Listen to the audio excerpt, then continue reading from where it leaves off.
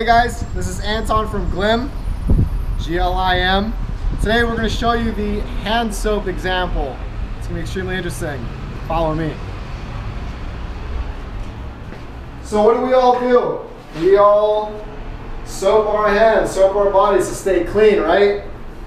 So I'm going to show you a demonstration today of cleaning my hands.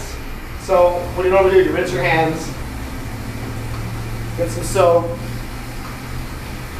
Soap your hands, clean all the bacteria off. That's what everybody does. So you think you have clean hands, well actually you have clean hands because it cleans all the bacteria off. But I mean look at all this, the soap suds, it's like, we're just so used and accustomed to having soap suds on us, we don't think twice about it. But what are all these chemicals actually doing to my skin? My, right now, my skin's absorbing these chemicals.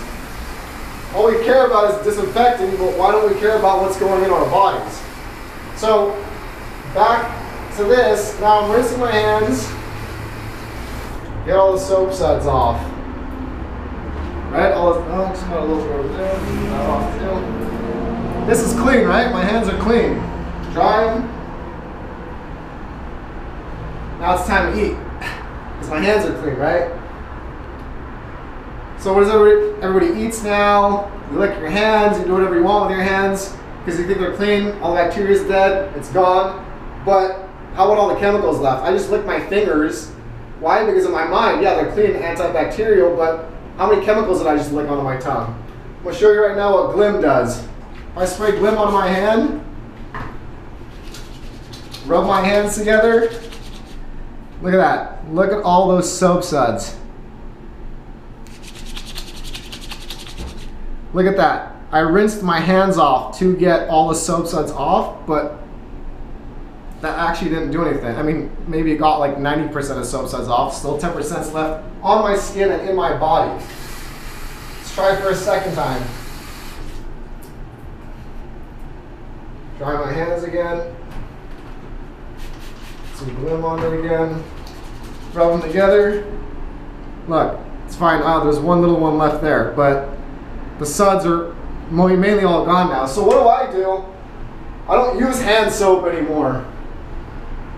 Let's just say that my hands were dirty right now and I'm about to go eat something. What do I do? Instead of washing my hands in the sink, I spray Glim on my hands because Glim disinfects. So you get the disinfecting, which is what we're all trying to achieve by soaping our hands.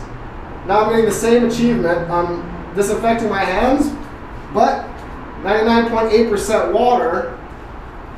Then I dry my hands, see? 99.8% water.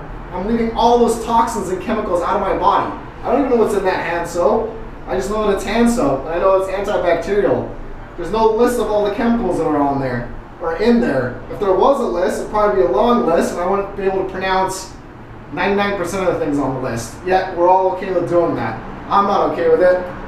That's why we introduced Glim into the market. Keep following us. There's gonna be a lot more content we're put, putting up. Um, subscribe to our YouTube channel. Is ePlan USA. Follow us on Facebook, Glim Partner, and follow us on Instagram at Glim Partner. Uh, we're going to be showing you more examples, and you can continue to follow how we're growing this business.